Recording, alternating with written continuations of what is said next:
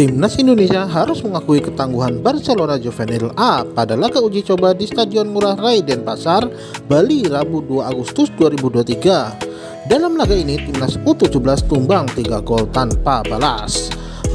Barcelona Juvenil membuka keunggulan pada menit ke-26 adalah Brian Perez yang mencatatkan namanya di papan skor.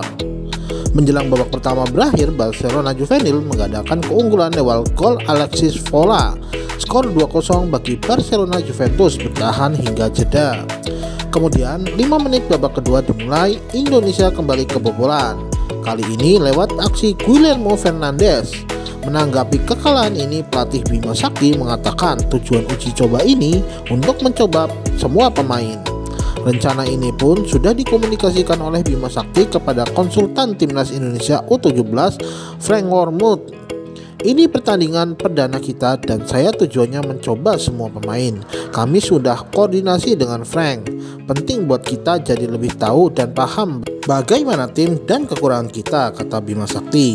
Dalam pertandingan uji coba ini, Bima juga mengakui ingin melihat kemampuan pemain diaspora. Memang kita coba tadi Alifta Rahman Kusuma baru datang dari Selandia Baru. Juga Aaron Liam Suitela kita semua berikan kesempatan kata Bima. Tapi memang mereka butuh adaptasi karena mereka baru datang dari negaranya. Butuh waktu atau penyesuaian dengan pemain yang ada di Indonesia karena kemarin mereka baru sampai di Indonesia.